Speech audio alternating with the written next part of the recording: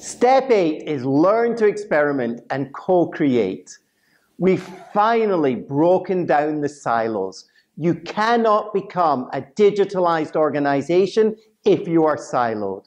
And in step eight, we focus on bringing people together to collaborate across silos.